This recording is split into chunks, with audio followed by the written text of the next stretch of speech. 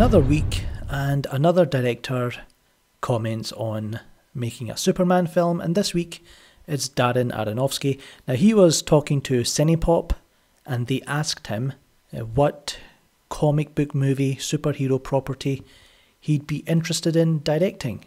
So he said, I mean, you know, Superman would always be interesting, but they're already deep into reinventing him, so that's not going to happen for a long time.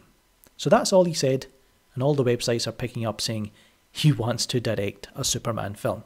But he did make comments about Zack Snyder not too long ago in 2014. He said, I thought Zack Snyder was a great choice for Man of Steel. Um, I loved his Watchmen movie. I thought it was great. I thought that as a fan of the comic, you couldn't hope for a better interpretation. I liked the orthodoxy of it. So he looks like he was a fan of Zack Snyder, Watchmen, Man of Steel, now, all the way back in 2002, he was interested in directing his adaptation of Batman Year One. It would have starred Joaquin Phoenix. And he said about that back in the day, I think we were ahead of our time. Um, I was always like, why can't we make a more lower budget R rated movie?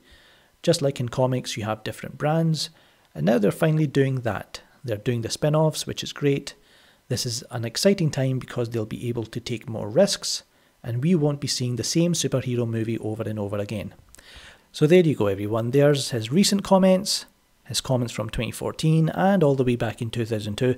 He definitely sounds like someone who wants to do something different. He's not interested in, you know, rehashing older Superman films, the Christopher Reeves films like Matthew Vaughn has, talk, has been talking about.